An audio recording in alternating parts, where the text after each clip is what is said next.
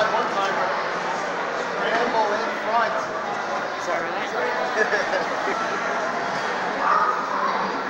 Ottawa looks for that cross-ice play that's that netted a goal early.